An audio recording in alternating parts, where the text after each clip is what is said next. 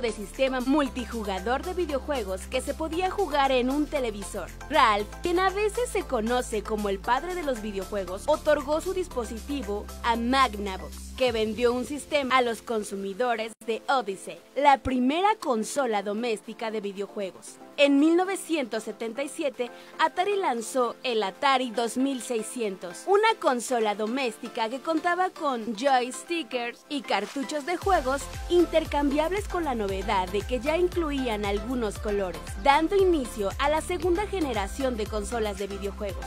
Desde comienzos hasta mediados de la década de 1990, se lanzaron una gran cantidad de juegos populares en ambas consolas, como Street Fighter 2 y Mortal Kombat. En 2005 y 2006, la Xbox 360 de Microsoft, la PlayStation 3 y la Wii de Nintendo dieron inicio a la era moderna de los juegos de alta definición. Te esperamos con más en otro Te Cuento. World TV. Somos televisión.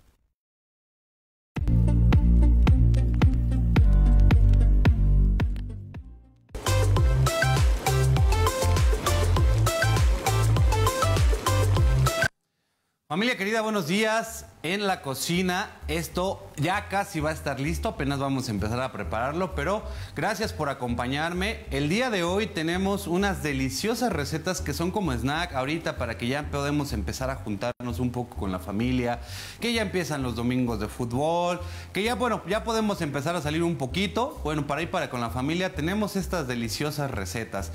Así que apúntele porque ahí vienen los ingredientes en pantalla.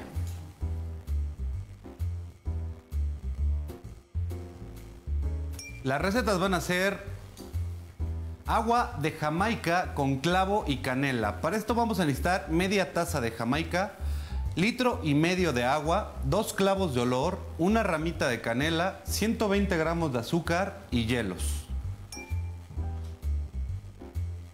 Para las patatas bravas vamos a necesitar cuatro papas medianas, 100, litros, 100 mililitros de aceite, una cucharada de pimentón dulce, una cucharada de pimentón picante, dos cucharadas de harina de trigo, un cuarto de cebolla, un diente de ajo, un cubito de caldo de res, 100 mililitros de agua, 50 mililitros de aceite de oliva, sal y pimienta al gusto.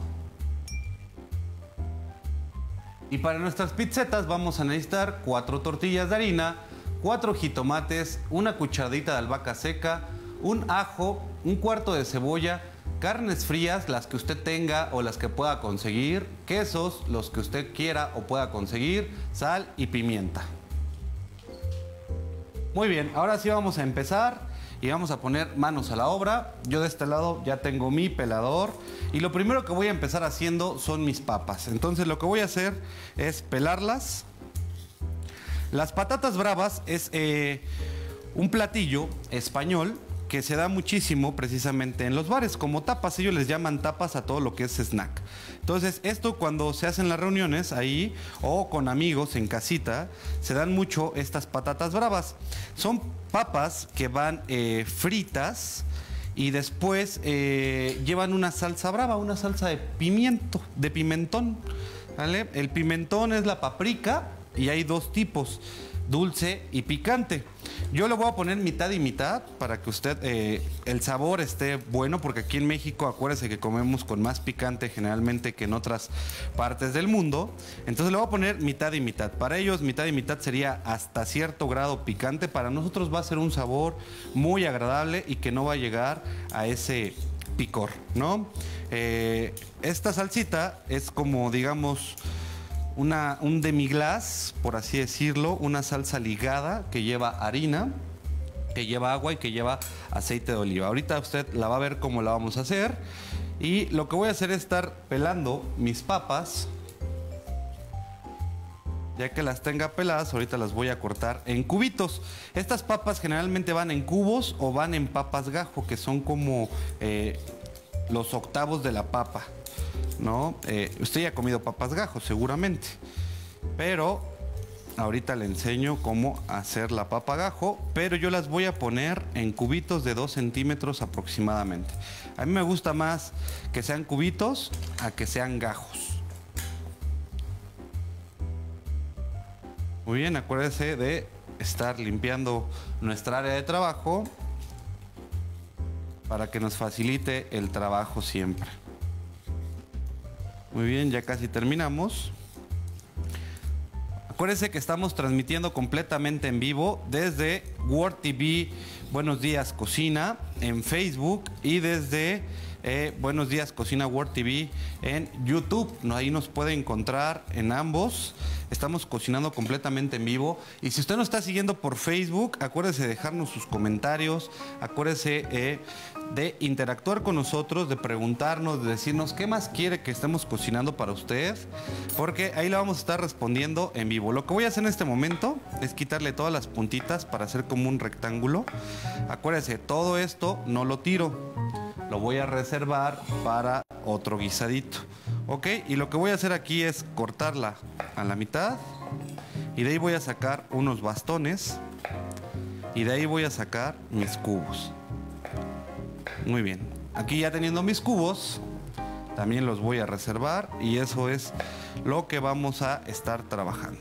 Tratemos de que los cubos sean del tamaño eh, lo más posible que siempre el tamaño sea el mismo. ¿Para qué? Para que cuando estén en el aceite se cosan de forma pareja. Si no, vamos a tener por ahí de repente algunas papas que están muy duras y algunas que de, sí ya están muy blanditas. Entonces, la idea siempre es que cortemos lo más simétrico posible para que queden del mismo tamaño y esto nos ayude a la cocción. Muy bien, ya tenemos por aquí. En lo que estoy cortando mis papas, déjeme agregar mi aceitito.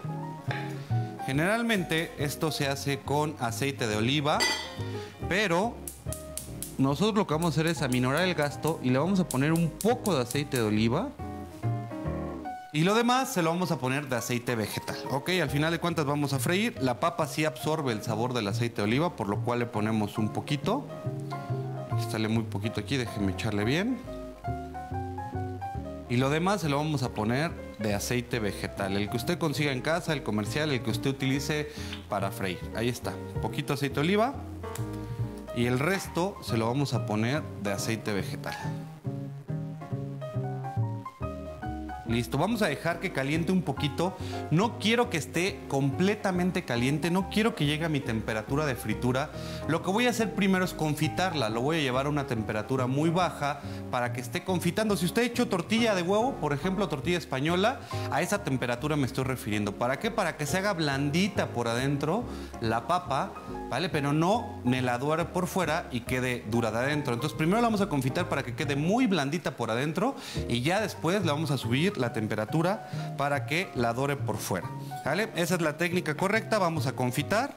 Entonces no vamos a dejar que la temperatura de nuestro sartén o de nuestro aceite suba mucho. Así que en este momento la voy a bajar y listo. Vamos a seguir cortando nuestros cubitos. Es sencillo, este es, de verdad usted lo va a probar en casita y de verdad que es un, snack, una, eh, una tapita como le llaman ellos, un algo para, para picar que le va a gustar mucho. En lo que yo termino de cortar mis papitas, vamos a un corte comercial y regresamos.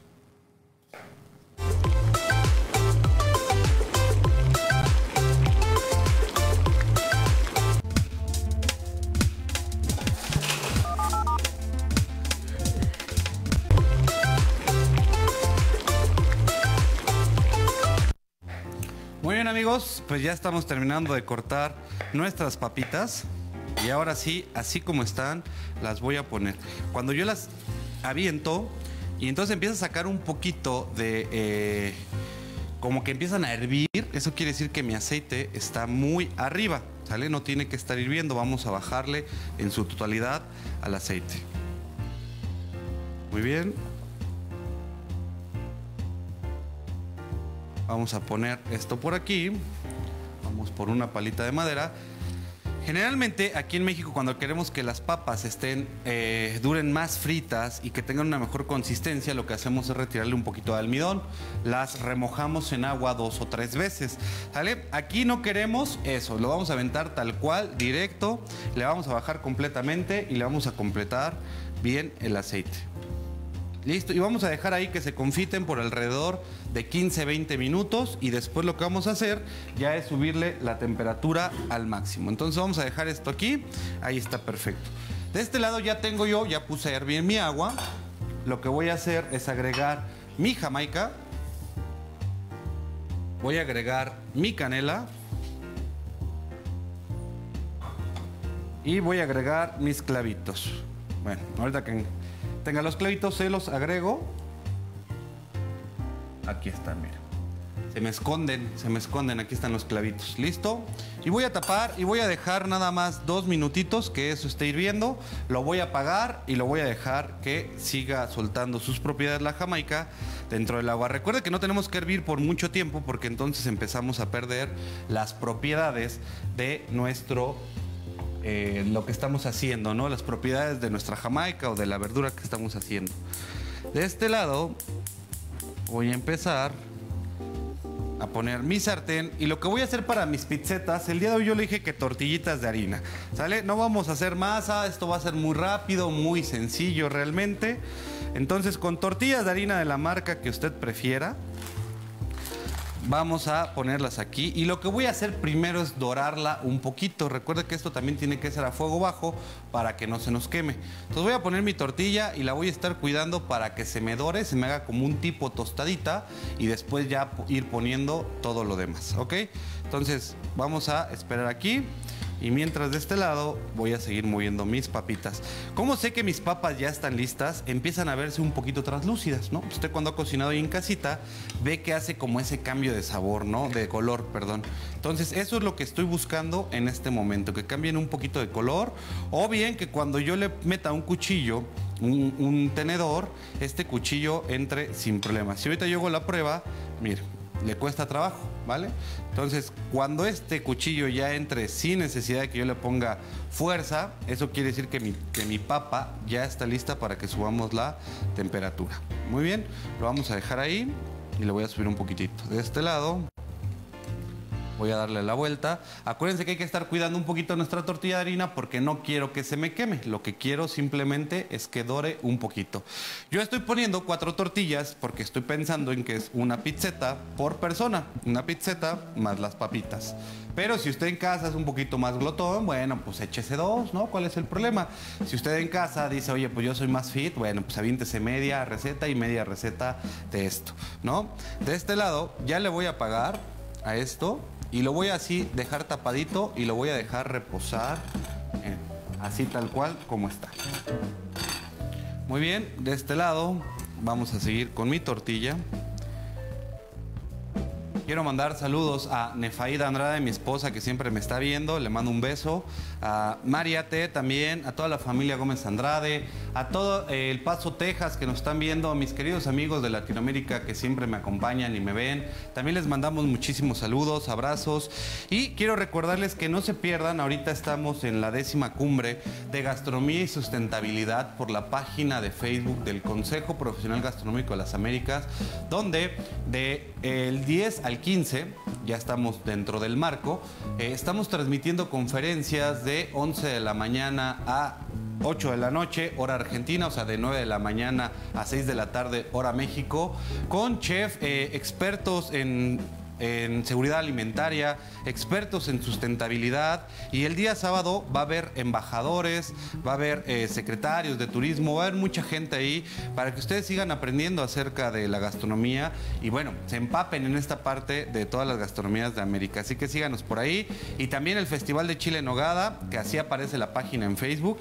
También estamos haciendo conferencias para que usted aprenda más sobre el chile en nogada. Así que síganos también en esas páginas. Esto lo está organizando el Colegio Profesional Gastronómico de México, pues al cual yo pertenezco, ¿vale? Entonces ahí también síganos, denos un like y bueno, no se pierdan esas conferencias que son súper interesantes por chef expertos o expertos en la materia de sustentabilidad y seguridad alimentaria. Ya está, ya está empezando a quedar doradita. Esto es lo que estoy buscando, ¿sale? Que quede doradita, que cuando se infle le voy a, quitar ese airecito para que las dos capitas nos queden bien de ambos lados. Perfecto. Y Y lo que voy a hacer en este momento, en lo que yo estoy esperando mi tortilla, es empezar a cortar mi jitomate. Ok, lo que yo voy a hacer con el jitomate es un purecito, ya lo hemos hecho aquí, acuérdense. Entonces voy a empezar a picar y a picar y a picar hasta que ya quede una texturita como de puré. Ok, entonces vamos a echarle de este lado. Mire como de este lado ya está subiendo mi temperatura, ya empieza a, burbujear. Eso es lo que no estoy buscando, que llegue hasta esa temperatura. Muy bien. Y aquí está ya mi primer tortillita. La voy a reservar. La voy a poner de este lado en mis cámaras. Y ya tenemos nuestra base para pizza. ¿Ok? Perfecto. Entonces aquí lo que voy a hacer es cortar y tratar de hacer un tipo purecito. Muy bien. Si usted quiere comprar una salsa para pizza ya hecha, la de su preferencia, adelante. ¿eh? Yo aquí voy a hacer una salsita, ya saben, nosotros somos más de, bueno, pues hacerla al momento y todo esto, ¿no? Pero si usted en casita se le dificulta o me dice, oye, ¿sabes qué es que el tiempo, no? No, no me alcanza para eso. Bueno, no se preocupe, pues usted adquiere ahí su salsita para pizza de preferencia, que ya venden bastantes en los supers. Y sin problema es lo que le va a poner, ¿ok? Muy bien, vamos a seguir aquí cortando. Y en lo que yo termino de hacer mi purecito, vamos a un corte comercial y regresamos.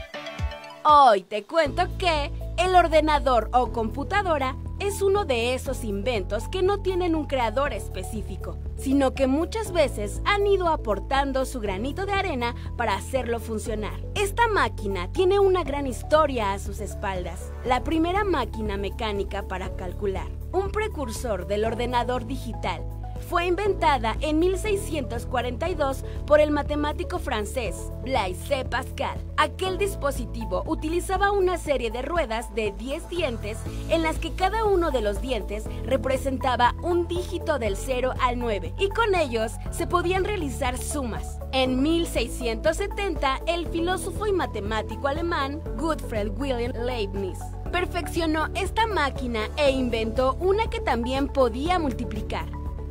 Durante la década de 1880, Hermann Hoyery concibió la idea de utilizar tarjetas perforadas, similares a las placas de Jaguar, para procesar datos.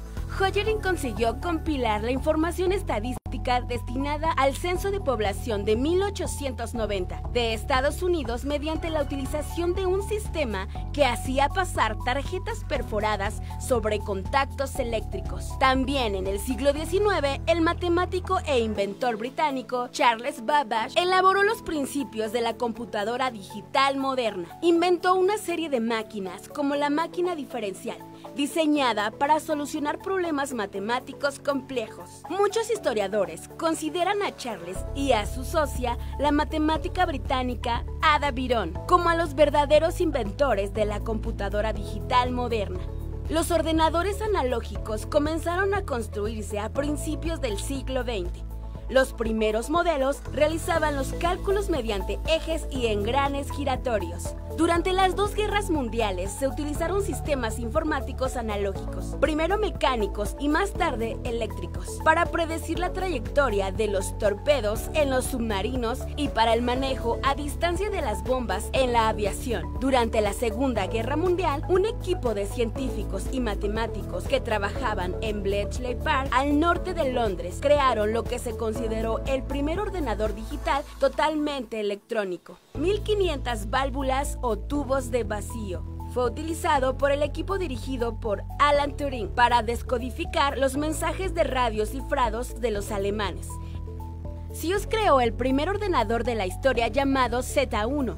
El Z1 era el primer sistema informático totalmente programable. No fue hasta el año 1942 que alguna empresa viera posibles beneficios y oportunidades en los ordenadores. La primera compañía se llamó ABC Computer, perteneciente a John Hadanasov. Durante el transcurso de los siguientes años, inventores de todo el planeta empezaron a investigar el mundo de las computadoras y cómo mejorarlas. Fue hasta el año 1953 cuando la compañía NBM entraría en escena con su máquina llamada NBM 701. En 1954 fue desarrollado el primer lenguaje de programación de alto nivel, llamado Fortran, pero fue hasta el año de 1958 donde la creación del circuito integrado dio un gigantesco paso para la humanidad. Este dispositivo, también conocido como chip, es uno de los requerimientos básicos para los sistemas informativos actuales. Otro momento importante en el área de software informático vio al gigante Microsoft entrar en escena con su sistema operativo MS2. Este sistema operativo cambió el mundo de los ordenadores para siempre, ya que era suficientemente fácil y comprensible para cualquier persona. La competitividad creció en 1983 con el ordenador de Apple Lisa, que fue el primero que contenía interfaz gráfico. Hoy día, el desarrollo de las tecnologías existentes relacionadas con el mundo del ordenador y la informática es un mundo sin límites. ¿Te atreves a explorarlo? Te esperamos con más en otro Te cuento qué.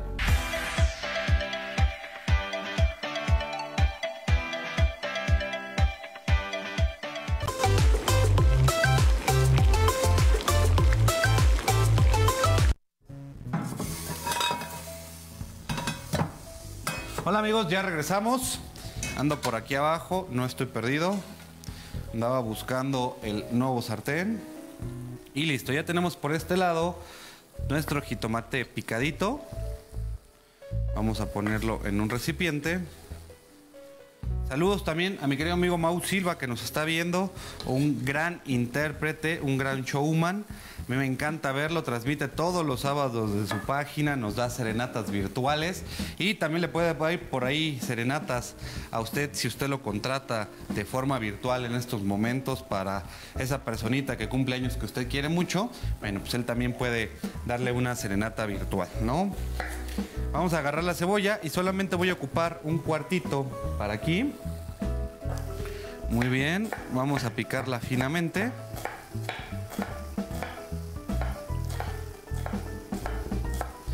Ahí está, de ahí nos vamos para el otro lado y listo, ya tenemos nuestros cubitos. Ok, así que si usted de repente me dice, ay, es que es bien difícil picarla, chef. No, no es cierto, mira. Nada más hay que agarrarle las formas.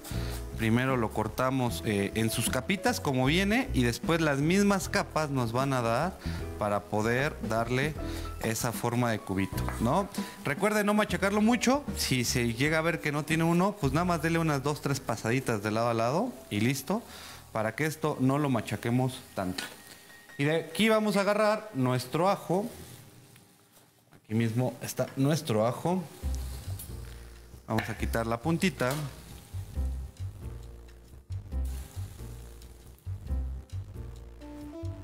Y vamos a pelarlo. Acuérdese que si se pone bravo nuestro ajo y no quiere dejarse, ya le dije, dele un aplastón con el canto del cuchillo y sin problema, ¿no? Al final el ajo no lo vamos a ocupar entero, lo vamos a picar. Entonces usted le da un apretón ahí con el canto del cuchillo y listo.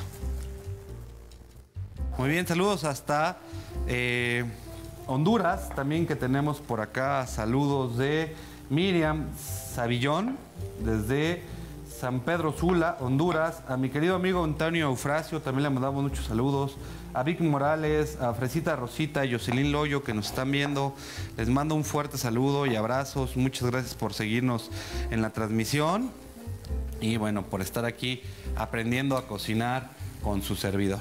Vale, vamos a poner en este sartén que ya tengo de este lado un poquito también de aceite de oliva. Muy bien. Con eso es suficiente. Y vamos a agregar el ajo y la cebolla al mismo tiempo. No quiero que se me queme el ajo, porque si el ajo se me quema, se vuelve amargo. Entonces agrego todo al mismo tiempo. Perfecto. Ahí está. Vamos a poner esto por acá. Y vamos por otra tablita. Muy bien. Vamos a dejar que se acitrone un poquito esto.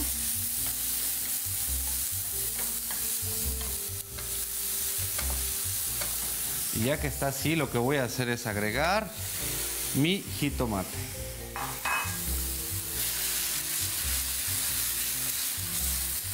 Y ahí a fuego bajo lo voy a dejar que esto empiece a hervir y esta va a ser nuestra salsita que va a acompañar nuestras pizzetas.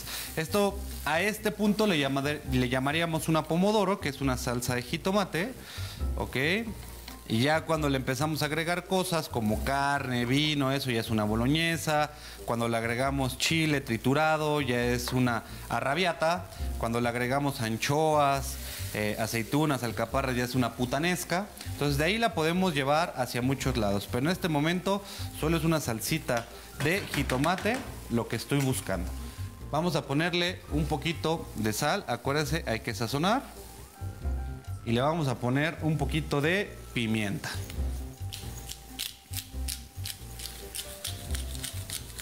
En este momento no le vamos a poner la albahaca, la vamos a dejar para más al ratito. Lo que quiero ahorita es que se empiece a cocinar mi jitomate y mi cebollita. Muy bien, ahí está listo. Y lo que voy a hacer es ponerle la tapa y dejarlo ahí a este fuego. Miren las papitas cómo van. Ya empiezan a tener esta textura que yo estoy buscando. ya se ve esto delicioso, ya se me hizo agua a la boca. Cuando las mueva, cuide de no hacerlo tan bruscamente porque ya empiezan a estar cocidas, acuérdense cuando está cocida lo que pasa pues es que la papa se empieza a deshacer, ¿no? Entonces yo voy a meter un cuchillito ahorita y mire, qué fácil entró mi cuchillo. Ya está casi. Entonces lo que voy a hacer en este momento, ahora sí, es subirle toda mi temperatura. Lo que ya quiero es que ahora sí haga fritura por afuera, que nos quede crocante esta papita. Entonces ya le subí toda mi temperatura, listo, y ahí lo voy a dejar. De este lado, como les comentaba, ya tengo yo mis bases para pizza, ya están mis tostaditas, que ahorita en un momento más vamos a ocupar. ¿Ok? Miren nada más, qué rico se está viendo esto. No se le está haciendo agua a la boca a usted, porque a mí la verdad es que sí, ya se me hizo agua a la boca. Yo lo que tengo para mis carnes, eh, tuve un evento el día de ayer donde ofrecí carnes españolas y bueno, yo tengo lomo, tengo jamón eh, pastrami, este es mi lomito. Tengo chorizo eh, de Pamplona y tengo lomito, lomito este, con, con almendra. ¿Vale? Usted en casita puede poner jamón serrano, puede poner salami, puede poner pepperoni, puede poner la carne que a usted le guste, la que tenga más a la mano, la que en el súper encuentre y la que a usted mejor le guste. Yo traigo estas eh, carnes porque, bueno, tuve un evento y yo, a mí nunca me ha gustado desperdiciar. Entonces, ¿qué dije? Bueno, pues para el programa vámonos con estas carnes y hacemos las pizzetas y hacemos este platillo precioso. De los quesos, yo aquí tengo un provolone, que es un queso ahumado que también tiene un sabor que usted de verdad delicioso. Si lo puede conseguir, adelante. El provolone es buenísimo y riquísimo. Y si no, no se preocupe, queso mancheguito, queso eh, Oaxaca, que vienen perfecto para las pizzetas. Y aquí también tengo un queso manchego curado de España. Este es un queso más intenso, más fuerte, pero que se acompaña de lujo con las carnes que traigo el día de hoy. Yo le repito, no es necesario que usted compre estos quesos, que además de todo la gente piensa que son muy caros de repente. Yo estos los compré con mi amigo en la central de Abastos y la verdad es que no es tan caro, ¿eh? Vamos a un corte comercial y yo regreso.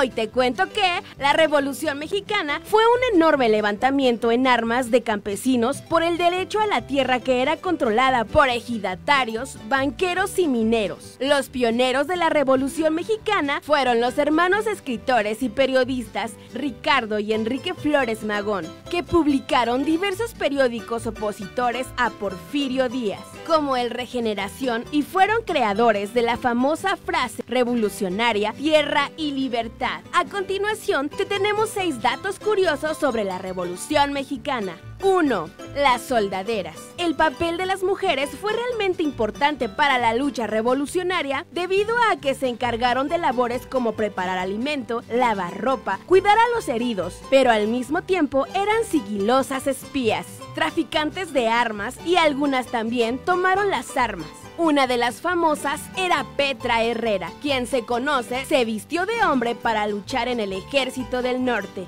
2. Los niños en la batalla. Asimismo, a los niños a partir de los 5 años se les encomendaban acciones como cuidar a los animales, acarrear el agua de los pozos a los campamentos o las tiendas así como llevarle tortillas y comida a los revolucionarios. Cuando tenían entre 7 y 9 años, los varones se alistaban a las bandas de guerra y seguían con el cuidado de los animales. A partir de los 10 años, los revolucionarios les asignaban labores de guerra y entrenamiento militar. Los niños podían portar rifles y algunos eran enviados directamente al combate. 3. Emiliano Zapata, el caudillo del sur. Emiliano Zapata no era pobre. A pesar de que en la historia lo han pintado como un hombre de escasos recursos, hay registros sobre la posesión de tierras y algunos caballos.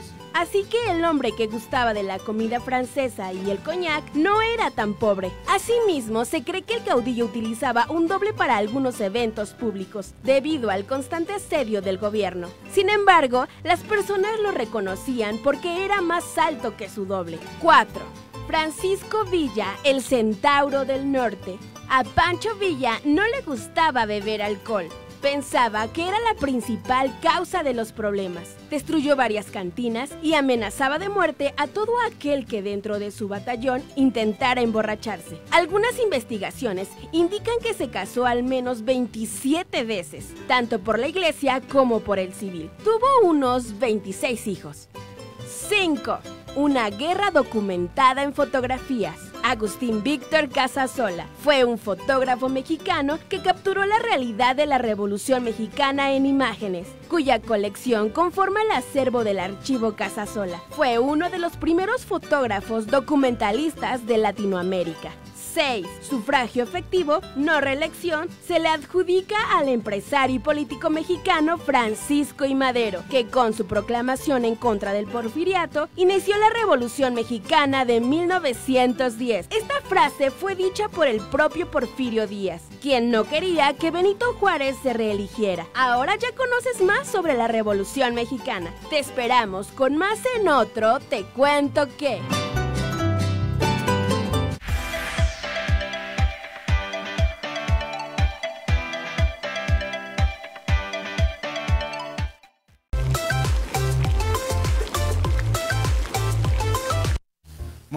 ya estamos de vuelta. Esto ya se está cociendo, mire cómo está quedando la consistencia deliciosa. Ahí está, vamos a moverle un poquito. Ya huele inclusive a, a este jitomatito delicioso. Muy bien. No vamos a dejar que se nos seque. Si vemos que se empieza a secar, lo que vamos a hacer es agregarle un poquito de agua. Muy bien. Esto por acá. Y muy bien, ¿tenemos algún otro saludito por ahí, amigo? Ahora nos está ayudando la producción a decirnos si tenemos saluditos por ahí. Acuérdense que en la parte profesional, en ninguna parte, eh, es recomendable que usted esté tomando el celular mientras está cocinando, ya que contiene muchas bacterias.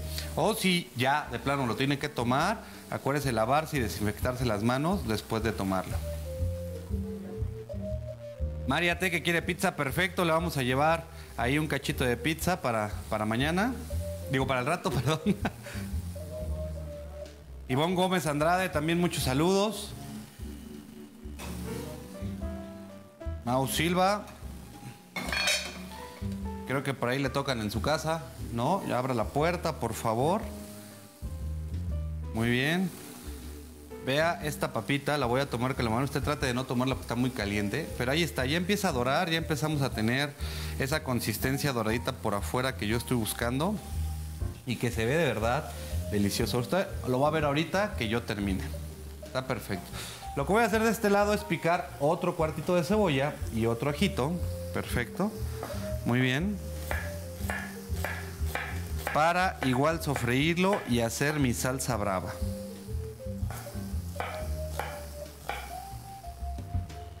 Muy bien, ahí lo que voy a hacer es picarla en cubitos, picarla finamente. Aquí al final la vamos a licuar. Si usted no le queda tan finito, no se preocupe. Esto lo vamos a licuar al final. Entonces, trate de hacerlo bonito, chiquito, pero si no le sale, no se preocupe y no me diga, ay, chef, es que ya no me quedó y ahora. No se preocupe, aquí lo vamos a licuar. Entonces, sin problema, vamos a agarrar nuestro otro ajito. Les decía, si no se deja, un aplastón rápido y miren qué rápido se empieza a quitar la cascarita. Muy bien, Nefaid Andrade por acá que nos anda mandando besos, saludos y todo. ¿no? A Luca, a, a Fernanda Álvarez les mando también muchos besos. Mis hijos los amo, los adoro. ¿no? Me acuerdo este programa es muy familiar, entonces la familia siempre me está viendo. Y bueno, cuando en casita replicamos estas recetas, pues siempre ahí están ayudándonos a cocinar. También a mis sobrinas hermosas, a Ili, a Ari, les mando también un beso y un abrazo que luego están cocinando conmigo. Por ahí ustedes han visto algunos videos en Facebook. Hice la otra vez galletas con ellas. Luego hago pasteles. Bueno, en lo que a las niñas les encanta, ¿no? Entonces luego me pongo a cocinar con ellas y está padrísimo. World TV, buenos días en la cocina. Síganos por Facebook, acuérdense, transmitimos completamente en vivo, pero el programa se queda ahí también en YouTube. Y si usted tiene algún... eh, algún sartén, algún ingrediente, algo que usted quiera promocionar con nosotros en el programa, llámenos al 55 25 95 6803 y con gusto alguien le atenderá para que usted pueda ser patrocinador de este programa. Y aquí se vean sus ollas, ¿no? Aquí se vea su licuadora, se vea sus ingredientes, entonces y podamos todos los chefs del canal cocinar con ellos. Ya casi está listo esto, miren nada más, mire qué bonito, se alcanza a ver ahí en la cámara. Le recuerdo, usted no lo haga porque se quema, los chefs ya o los cocineros profesionales, pues bueno, empezamos a perder ahí un poquito de sensibilidad y, y ya no tenemos tanta en esta parte al calor, ¿no? Entonces, perfecto, mire cómo va quedando esto de rico. Vamos a dejarla un momento más. Y lo que voy a hacer por este lado es agregar aceite de oliva para empezar a sofreír mi cebollita y mi ajito. Un poquito nada más para darle brillo. Muy bien, y ya tengo de este lado mi ajo y mi cebolla. Lo voy a poner así. todo mi ajito y toda mi cebolla. Y voy a esperar a que sofría. Perfecto. Muy bien, déjeme limpiar por acá mi cuchillo. Déjeme limpiar mi tabla. Perfecto. Y ahora sí, vamos a seguirle. Por este lado yo tengo otra otra palita aquí y lo que voy a hacer es empezar a mover para que se empiece a sofreír mi ajo y mi cebolla de este lado. Este, déjeme ver, ahí está, ya quedaron estas papitas. Ahorita va a ver usted el doradito hermoso que tienen. ¿no? Y si no lo alcanza a ver bien en la cámara, acuérdese, al final yo le subo la foto para que usted pueda ver este este delicioso platillo que nos acompaña el día. En este momento lo que yo hago es agregarle un toque de sal. Listo para que nuestras papas tengan sabor. Acuérdense, yo uso sal de Colima, sal, eh, flor de sal. Esta sal es baja en sodio y no tiene una estructura tan pesada, por lo cual aún en el aceite se permite deshacer. Si nosotros ocupáramos la sal de grano comercial, esta le va a costar mucho trabajo deshacerse en el aceite, entonces va a encontrar los granos por ahí. Si no tiene flor de sal o sal de colima, utilice sal normal, sal de mesa, la sal convencional, para que se alcance a disolver en el aceite. Si no, lo que va a pasar es que cuando usted lo coma, se va a encontrar por ahí los granos de sal y bueno, a veces llegan a ser un poco desagradables estos, estos granos, ¿no? Perfecto.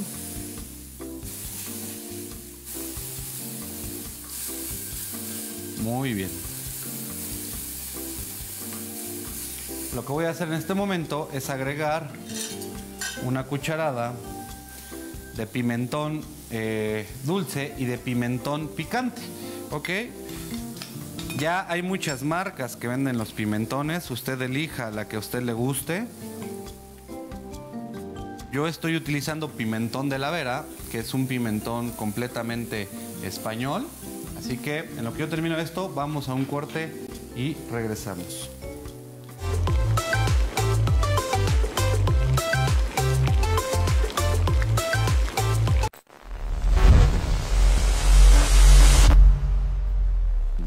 TV. Somos televisión.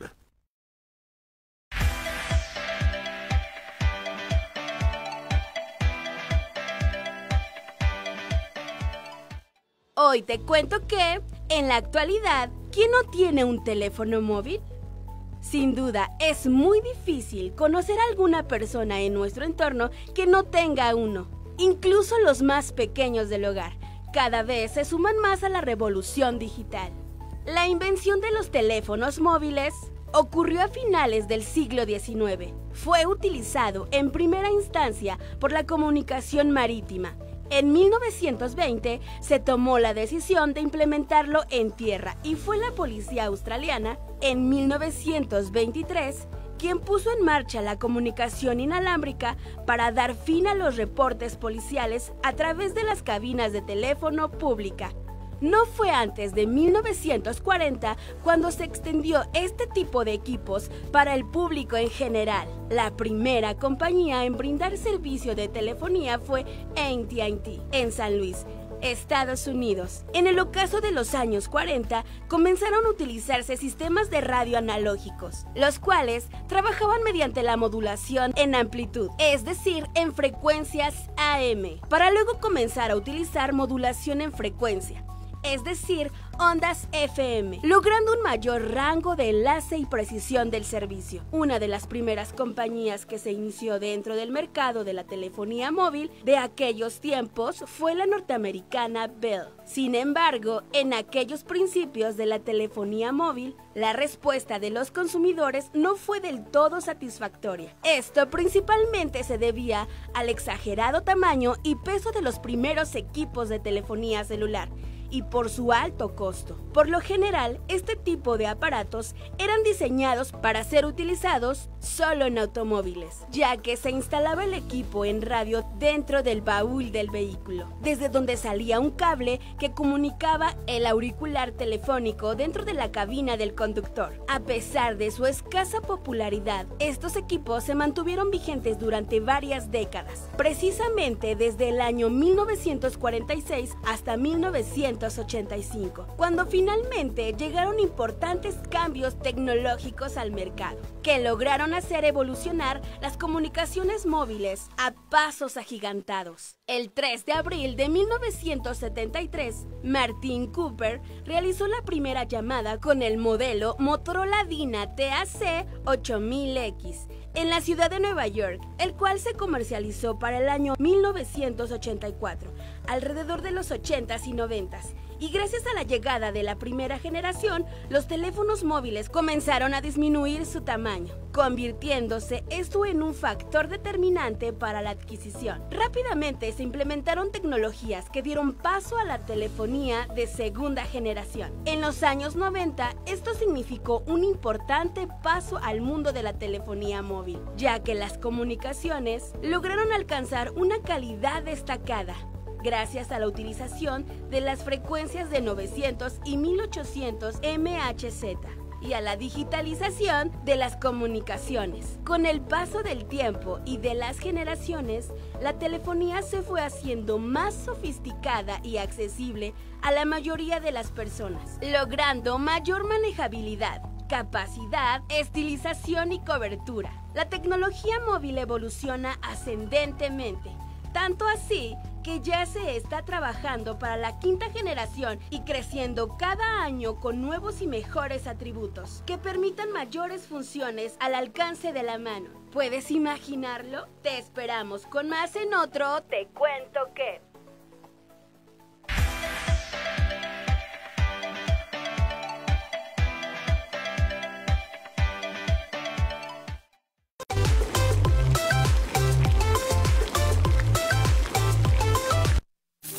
Muy bien, ya tenemos de este lado nuestro pimentón y nuestra cebollita. Vamos a apagarle porque el pimentón es muy sensible. Lo que voy a hacer en este momento es apagarlo para dejarlo ahí y voy a ir por un cambro para retirar el exceso de eh, aceite de mi olla. Esto ya está listo. Pues déjenme agarrar los trapitos. Vamos a apagarle. Alcanza a ver el color tan bonito de las papas dorados que tiene ahí. Miren nada más. Lo que voy a hacer es retirar el exceso de aceite. Este aceite aún tiene eh, limpieza, por así decirlo, entonces lo podemos reutilizar sin problema. No hay necesidad de, de tirarlo inmediatamente. Entonces, si vamos a freír cualquier otra cosa, lo dejamos ahí enfriar y lo podemos recuperar en cualquier otro día. Muy bien, ahí está. Listo, esto ya debe estar apagado. Y las las vamos a reservar en un recipiente. Déjeme voy por un recipiente. Para poderlas poner. Te lo voy a poner aquí. Toda la grasa se termine de escurrir. Bien. Escucha usted cómo, como cuando cayó sonaron como esas piedritas. Eso quiere decir que mis papas están doraditas, perfectas, bonito. ¿no? Vamos a ponerla por acá. Listo. Y de aquí vamos a recoger las papitas que quedaron. Aquí si no meta la mano directamente al aceite porque pues está muy caliente y esto le puede ocasionar quemaduras de primero o de segundo grado y eso pues no, no, no, no. Entonces con unas pincitas ahí y estas papitas las vamos a dejar también aquí atrás para que terminen de escurrirse perfectamente. Muy bien, ya tenemos listas nuestras papas. Vamos a limpiar por aquí bien. Acuérdense hay que tener orden en nuestra cocina. Déjenme ver cómo va mi salsita. Miren nada más. Qué rico, qué bonito está quedando esto. ¿Ah? Si podemos con la misma cucharita ayudarnos a hacerle ahí un picadito todavía mejor para que termine de integrarse bien y quede realmente como un purecito. Listo. Acuérdense, no tenemos que dejar que se nos seque, pues esto es una salsita. Si se nos llega a secar, lo que vamos a hacer es incorporarle un poquitito más de agua. Vamos a poner esto aquí y vamos a probar qué tal nos sabe esto. Mm. Está buenísimo, ¿eh? Va a quedar delicioso. Muy bien, en este momento lo voy a apagar. Y con el mismo calor que tiene el sartén, la voy a dejar de este lado para que termine de cocinarse. Y eso nuestras pizzas, usted no sabe, va a saber de verdad delicioso. ¿no? Ya tenemos por este lado aquí mi pimentón. Eh, lo que voy a hacer en este momento es agregarle harina. Harina por acá, le dije 30 gramos. 30 gramos de harina son como unas dos cucharaditas. ¿Vale? Entonces le voy a agregar una cucharada, dos cucharadas. Muy bien. Y ahora sí le voy a volver a prender. Acuérdese, si lo que hacemos que lo dejamos sobre la lumbre y se nos llega a quemar el pimentón, este toma un sabor amargo, entonces ya no nos eh, llega a gustar tanto, ¿no? Y eso no estamos buscando. Estamos buscando que el sabor sea muy agradable y muy rico. ¿Vale? Vamos a hacer aquí como si fuéramos a hacer un rug. Los que por ahí han estudiado y, o han visto muchos programas de cocina, un rug es un espesante que es a base de harina y mantequilla. Y eso sirve para hacer las cremas o para hacer todo este tipo de, cosas que son espesas. Y en este momento lo que voy a hacer es tomar un poquito de agua.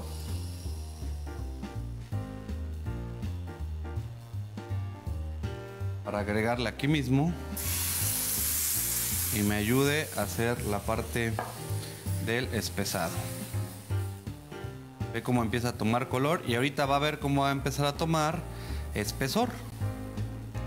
Lo vamos a dejar que empiece a hervir. La, eh, la parte espesante de la harina generalmente se activa en altas temperaturas. Entonces, luego nosotros vemos que no termina de espesar y que no termina de espesar y le estamos agregue y agregue cucharadas. Y cuando esto empieza a hervir, ¿qué pasa? Pues que se algo demasiadamente espeso porque no lo dejamos que llegara a la temperatura correcta para espesar. Miren nada más qué bonito empieza a quedar. Ahí empieza a espesar. Empieza a ver el aroma. Ya es delicioso. Muy bien. Riquísimo. Y lo que voy a hacer es agregarle un poquitito más de agua.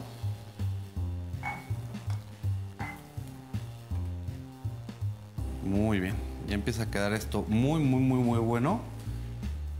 Y bueno, si usted tuviera consomé de, de res o, caldito de res de que hizo un día antes, de huesitos y eso, se lo puede usted poner en este momento. Yo no tengo caldo de res eh, recién hecho, entonces lo que hice pues fue conseguir un cubito de caldo de res. ¿Vale? Se lo voy a poner ahí directamente. Yo le puse tres cuartitos, no le voy a poner el, el cubo completo. Vamos a seguir moviendo. Recuerde que aquí hay que estar moviendo para que no se nos pegue en la parte baja del sartén y no se empiece esto a quemar. En este momento... Mm, de verdad, y tiene un buen picor, ¿eh? Tiene un picor muy, muy rico, muy cálido. Está perfecto. Muy, muy bien. Vamos a seguir aquí. Y para que no queden estas impurezas, o llamémosle estos tropezones, lo que vamos a hacer es llevarla a la licuadora. Muy bien, ya tengo por acá la licuadora. Voy a apagar. Y voy a vertir todo sobre la licuadora. Lo que estoy buscando es que sea una salsa tersa. ¿Ok? Si usted le gusta con todo y los tropezones de cebolla y de ajito, está perfecto, así déjela. Pero los españoles, y como debe de ser, pues es una salsa muy tersa, ¿vale?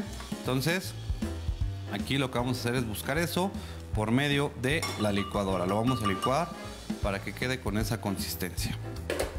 Muy bien, acuérdense cuando tenemos algo caliente, vamos a poner nuestro trapo, vamos a poner nuestra tapa y en lo que yo estoy licuando aquí, vamos a apoyarnos, vamos a un corte comercial.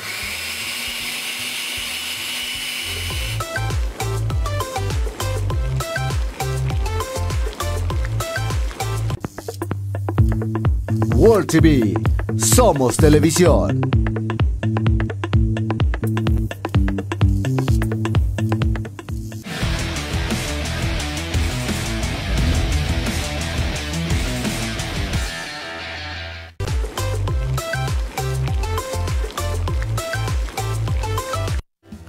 Muy bien, ya regresamos a su programa Buenos en la cocina y ya tenemos aquí, ahora sí, nuestra salsa ya muy, muy, muy, muy tersa, muy bonita. Mire usted nada más. El color, ahí está, está bonito nuestro color de lo que estábamos buscando esta salsa. Y solo vamos a dejar que caliente un poquito. Vamos a poner esto por acá. Y vamos a tapar nuestra salsa a fuego bajo por un minuto más. ¿Ok? Por acá. Muy bien. Vamos a acomodar nuestros trapitos. Acuérdense que siempre tenemos que tener limpia nuestra área de trabajo. Y muy bien, lo que voy a hacer en este momento es cortar un jitomatito en láminas. Ok, en rodajas. Voy a sacar solamente tres laminitas. Ahí está. Vamos a dejar esto por acá. Y entonces, ahora sí, yo ya tengo mis tortillas de harina ya fritas. Voy a dejar que caliente nada más un poquito. Y lo que voy a hacer es poner un poco de mi salsa. Miren nada más, qué rico. No se le está haciendo agua a la boca allá en casita. De verdad, huele y sabe delicioso. Está, vamos a poner bien de salsita. Muy bien. Y en este, a esta le voy a poner yo queso provolone. Ya tengo mis rebanaditas de queso provolone. Si se le rompe, no pasa nada. Ahí está. Vamos a ponerle una. Vamos a ponerle dos rebanaditas de queso provolone. Es más, hombre, pues vamos a vernos buena onda. Nada más voy a hacer dos ahorita, ¿no? Vamos a ponerle tres rebanaditas. Y lo que le voy a hacer es hacerle una mezcla de mis carnes. Vamos a poner uno de este lado y uno de este lado. Vamos a ponerle chorizo de pamplona. Mire, qué rico se ve este. Ya se me hizo agua la boca. A mí me encantan las carnes frías. Muy bien. Aquí tenemos una. Vamos a pasar con la segunda. Esta le voy a poner también mi salsita alrededor de toda la tortillita. Muy bien. Y aquí le voy a poner el queso manchego semicurado. Voy a destaparle de este lado.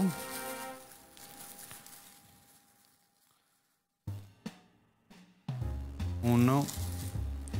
Voy a poner dos. Y le voy a poner aquí mi jitomate. Esta no la vamos a hacer de carnes, la vamos a hacer de jitomate. Y lo que voy a hacer en este momento es pasarla a mi sartén. De este lado voy a apagar ya mi salsa. Ahorita ya que cortemos, pues para la producción le hago las demás, pero para usted que está ahí en casita, todavía esto déjeme ponerlo acá. Vamos a cortar ahorita la pizza, entonces todavía no me lo llevo. Muy bien. Ahí está, perfecto. Y lo que voy a hacer ahorita es buscar mi tapa que tengo de este lado y las voy a tapar por dos minutos. De este lado ya está mi salsa deliciosa. Lo que voy a hacer es agarrar un platito. Ya tengo por acá, por acá mis papas. Miren nada más qué bonitas quedaron. Y lo que voy a hacer es hacer un montículo de papas.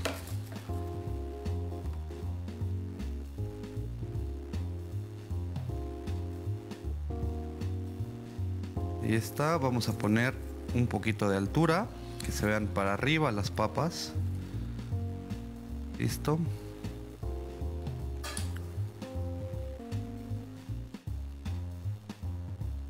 Ahí está, miren. Miren nada más qué bonito se ve esto.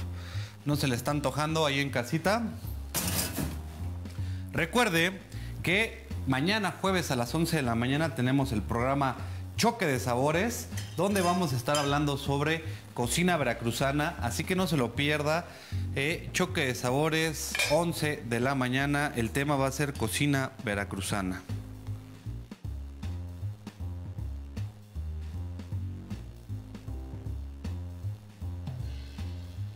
Aquí lo que estoy haciendo es ponerle un poquito de nuestra salsa. Bien, un poquito de nuestra salsa. De lujo. Limpiar las impurezas. Los manchones que tenemos. Y con nuestra misma cucharita vamos a agarrar un poquito más de pimentón. Déjenme limpiar mi cuchara. Y le vamos a pegar para espolvorearlo. Perfecto. Ahí está. ¿Qué tal le pareció esto? Y ahora sí, vámonos con eh, nuestra agüita, la cual le voy a poner un poquito de nuestros hielos. Regáleme un segundo para ponerle hielos. Ahí está. Y vamos a poner esta agüita directo. El aroma que desprende con la canela y con el clavo, ¿verdad usted? No tiene idea de lo rico que va a ser esto cuando usted lo esté preparando y cuando ya lo esté oliendo. Está muy, muy, muy, muy rico. Pues vámonos por aquí. Vamos a ponerle nuestra azúcar.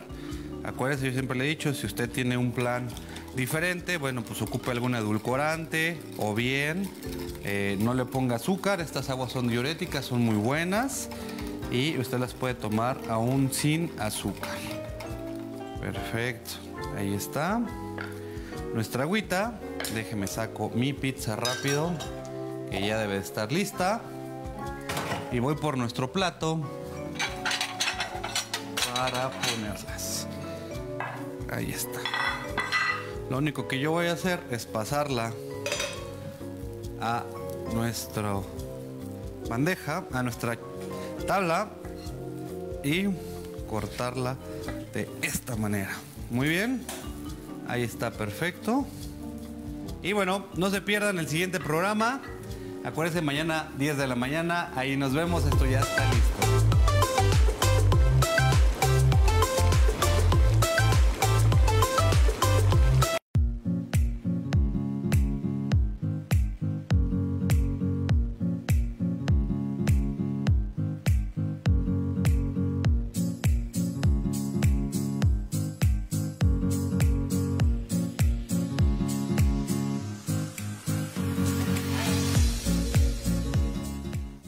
TV. Todo en un mismo canal.